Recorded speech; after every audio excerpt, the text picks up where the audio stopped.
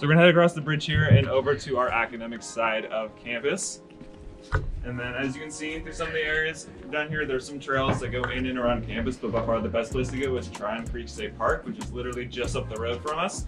Now students can walk there themselves they can take their car. Now a little bit about transportation is first year students cannot have their own car here on campus, but there are plenty of other options for students, such as public transportation that runs through here, but also the Pioneer Express, which is our shuttle system. Runs straight downtown about every half hour to 45 minutes, completing about a loop to get back here on campus. We'll also stop at Fred Meyer as well. Our local grocery store here for students to pick up groceries, get anything they might need for dinner, things like that. And then it runs pretty late as well. On Sunday through Thursdays, it goes till about 10 p.m. And then on Friday and Saturday nights, it runs till about 2 in the morning.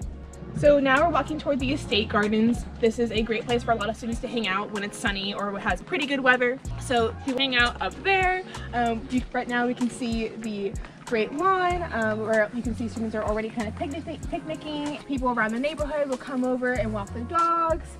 Um, during the first couple weeks of school, we have the PIO Fair, so all the student organizations, whether it's student unions or just clubs like Italian Club or Cheese Club, will set up all their tables around here and do whatever they can to entice you to join their club and get on their email list. Um, they have candies and food and such just so you can, you know, come over to their table and it gives everyone a good look of what is going on on campus. We also have a pool that's open during the summer months and down there is our rose garden and also our grape vineyard.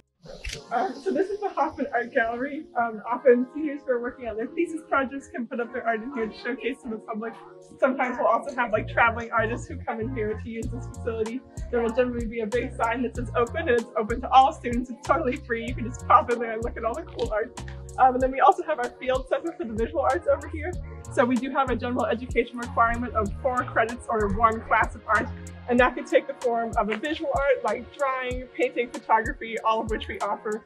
Or it could be like choir, orchestra, band. I know one of my friends is using like a poetry class for their art credit. Um, but it's usually pretty easy to get that art credit out of the way if you are not really willing to take art. But we have a ton of cool classes.